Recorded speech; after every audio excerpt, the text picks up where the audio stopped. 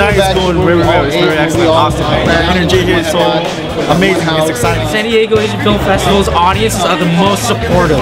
Seriously, they come and they love it. They love the films that premiere. The big Asian film community, we done forgot about that the culture of Asians being in gangs does exist. We swept underneath the rug for so long.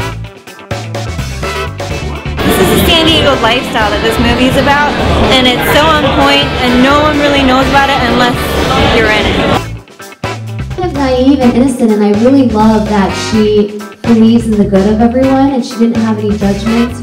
The message here is whatever your passion is, whatever your goal is, that whatever we have a goal of we're trying to reach, we can change at any time, any moment, we can make it anywhere. As long as we pursue one road, one path, no matter what goes on behind us, we move forward and we can be anything we want.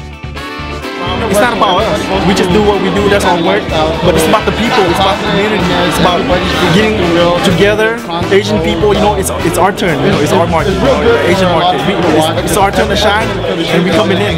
David Huynh, and I love San Diego Asian Film Festival. So that.